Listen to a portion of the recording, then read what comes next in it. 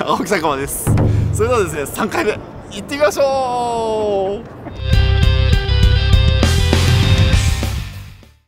おはようございます。おはようございます。あれ？お久しぶりだねお久しぶり元気でした、たくまさん。3年ぶりちょっと。あでも感覚的にはそそん。な感じだねはい。連帯もなかったしね連帯もなん。12月以来以来かな、はいとりあええず違いますよ。2月に会ってまああそっかす。3月会ってない。寂しいですよね。寂しい。ね連帯は毎週やってるからねなんか鹿児島。もあったしね、はい、そうそうそう今日何しに来た今日はモーターサイクルショあーに今日モーターサイク来ルショー？ましたよ。ここモーターサイクルショー3です。年ぶりじゃんだからそうです。3年ぶり。3年ぶりだよどうよ？ねだから違う本当に3年ぶりのモーターサイクルショーじゃないですか、うであのみんなブースの方とか出店の方とか私たち演者とかもどこをどうしていいか分からなくて。でなんとな私くなんか腫れ物に触るようなイメージ。そうなんですよ。だからなんか言っていいのかどうなのかみたいな。喋ってもいいのかも分からない。いやなんかうわーどうしようやるかどうしようトークショーするかどうかっていうところだよそうですそうです。ねだって今年噂によると市場とかまたげないとかいう話も。あったね。聞いてたんであっ実際どうなんですかねグリップを握っちゃいけないあのなんか大阪がそうそれがどうなどうなって言ったよねね実際にね。だから今日切って中入ってまあ本当に、どうなるかね。そうそうそう。分かんないですよ。たくまさんどんな気分ですか？俺最高よ。何が最高よ。めっちゃ最高。もうこのみんなとあ会える。こうやってねみんなとこうやって会えるで関係者に会えるっていうね、はいはいえー新しいものにあの触れられるっていうそういった、そっちかな。ですよね。そだって私もさっき高揚してたくまさん。となんか長かっ手つないだってずっと長かったです長かった。なんかもうでも本当そんな感じですよね今。入ってる。お金入ってこれ私のオリジナルの私だけのすごい。あのやつなんですけどすげえかっこいいんだからみんな欲しがるんですけど。パタパタしてるでしょ。これねバイク走るとすごいの、あパタパタ。そうでも私でもバイク走るとずっとこういう状態じゃないえでもパタパタするんですよ。そうだ。本当ですよ。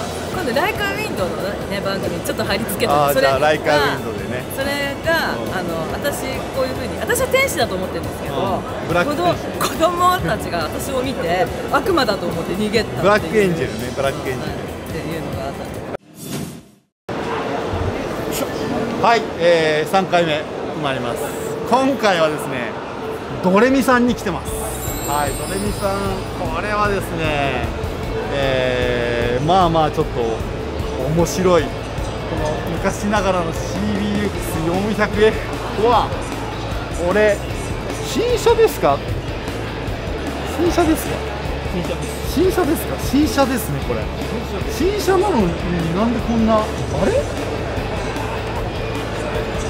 タイプって書いてあります。タイプ X と書いてあります。これはドレミさんが独自で作られた CBX400F になります。そうね、外装キットね。の外装キットがね。CBU100 スーパーで竹さんをここで。ではですねこれをですねプロデュースしたドレミコレクションの社長に来ていただきます。竹さんどうも、どうもどうもご無沙汰ご無沙汰してます。すすいませんはい、すごいものが。はい、ありがとうござないんます。かはい、来ましたけども、はい。誰も気づいてくれないんで。いやいやいやいやいやいやこれはまず、僕は今回のオートサロンではこれを、必ず取材しようとはい、いうことで、えー改めて紹介させてください。えーこちらが、えーキャブ車の最終、えーキャブなんすか？これ、はい、CB あのスーパーフォアの39、えー、VTEC3 でございます。はい。であのーキャブの最終と、えーあえて、あのーこちらが現行、えー、42の42の一番もう今たった今売ってるやつですね、えーこれに対して大きな違いは、まあ、これはあの VTEC1 とかなんですけどグラブバーのステーがついてるんであえてここはグラブバーのステーを隠す形であのウイングがついております。えーこれ試作ですけれどもこの、えー3級の VTEC3 から、えー現行まではこのウイングになります。なるほど、はい。えーそれとあのなんていうんですかね一番特徴的なのはまだこれ試作なんですけどもクロス。やっぱり CB といえばあのはいクロスマフラーですね。クロスマフラーとあの一番苦労してる点はガソリンタンク。このガソリンタンクというのはインジェクションのあのオイル燃料ポンプ、はい。それとあのこちらキャブ車なんで燃料センサーと、はい。えーコックがつくんですけども、これらあの、まあ、31モデルから42モデルまで全部があのアダプター方式で買えるように作られているのがこちらのタンクです。なるほどね、はい。あどどうぞどうぞ、はい。ありがとうございます。これですね、あの423931おそんな。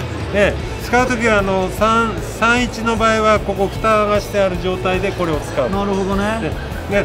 あのー間違って外してもらっても困るんですけれども蓋蓋をつくその車種に合わせてこれを使うそれと長さが違ったりするんで絶妙にこの調整の、ができる、はい、アダプターをつけてるってはい。ことガソリンタンクのあのキャップは全部共通化されてて CBX のタンクキャップをあの作りでであえてあの CBX 実はあの昨年で40周年迎えてまして、でえー、とこの F2 の色まで入れるとあの84年なんでこのあの残り3年間は40周年という形であえてもしホンダが茶目っ気出して作ったらこんな感じかなっていう。なというところで、そうですそうです。なるほどね。さりげなさで4気筒の400がこれからも、えーまあ、本田さんが作っ続けていく限りは、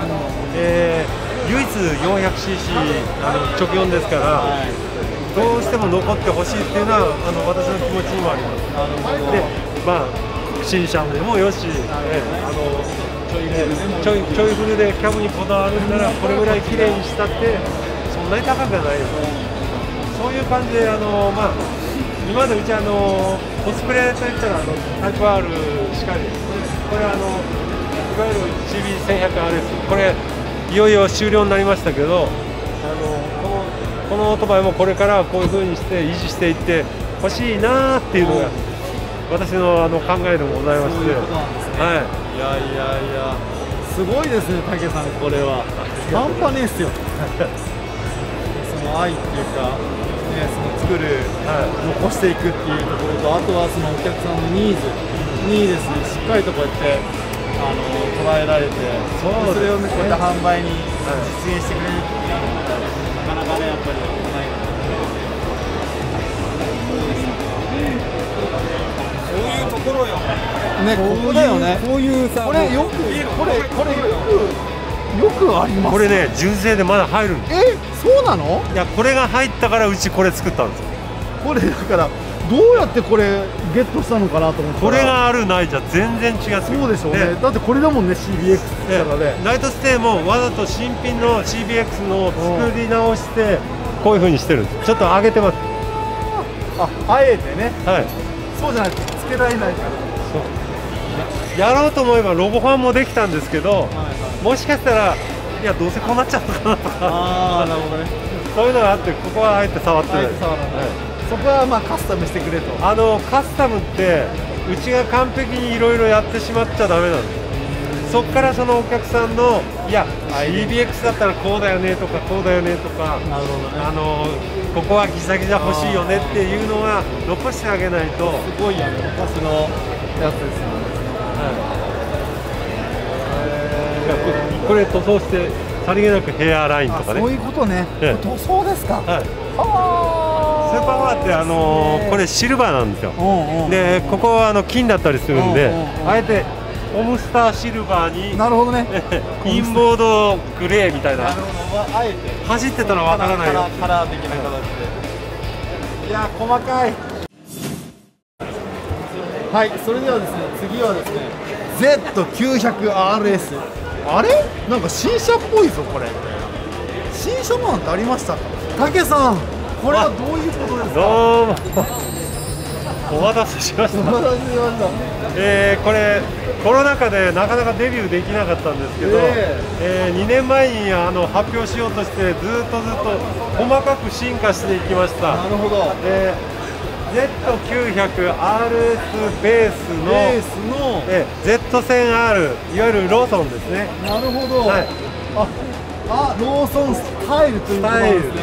はいいやいやいやいやいやまさしくなんかもうあの時のまんまのまんまでまさかあれがこれになるっていうのはえタンクももちろん違いますね、はい。もちろんね。えーこれに関してはこちらご覧ください、えー車検対応のために鉄のインナータンク、えーこれをこの中に装着しましておこれがドレミのあの着せ替えのパターンでいわゆる Z1 スタイル。これノーマルではございません、うん Z1 スタイルローソンスタイル、うん。そして忍者スタイル。じゃあスタイルで。はい。これパッと見なんか普通に川崎から新車で出てる雰囲気に実はこんな色ないんですけど、はい、いやいやいやすごいな。あのうちのモットーはメーカーが出してもおかしくないなーがあのなかなか重要なのはこのパターンので今風にさりげなくあのちょっとターボン使ってみたり。なるほどね。だから今出すとこうかもねっていう感じですね。これあの大きいのはやっぱりあのモーリスマグ。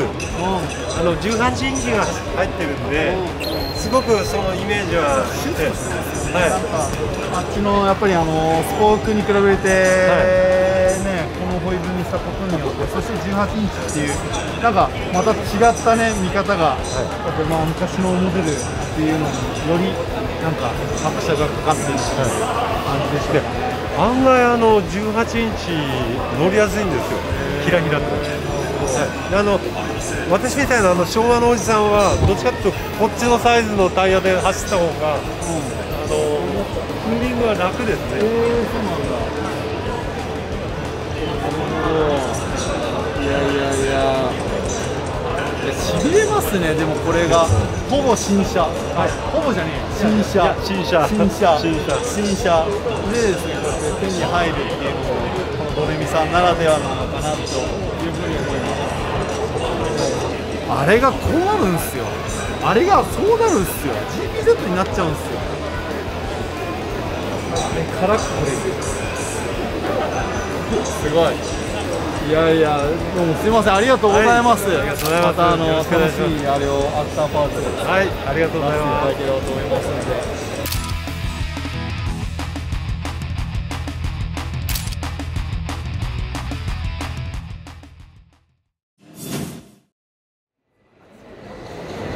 はい、えー東京モーターサイクルショーが終わりました。えーとですね、まあ、今回もですね、えー3年ぶりにですねこうやって開催されたことによってですね非常に多くの、えー出店者そしてあの面白いバイク等と出会えたかなというところがありましたもっとねこのコロナが終わってもっともっとそのバイクに乗る機会であったりですねいろんな、え楽しみ方をですねこのバイクを通じて、えー発信できていったらななんて思っております、え今回の動画が面白かったなと思った方はですねぜひ高評価そしてですねチャンネル登録をよろしくお願いいたします。そしてですね、えー右上にありますベルマークをですねぜひクリックしてください。そうしますと、え僕が投稿した時にあの皆さんに、えお知らせが届きますのでそちらの方もぜひよろしくお願いいたします。